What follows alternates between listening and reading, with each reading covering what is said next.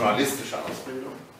Ich mache nebenher jetzt noch, ich unterrichte noch Sprache und Sprechen an der Universität.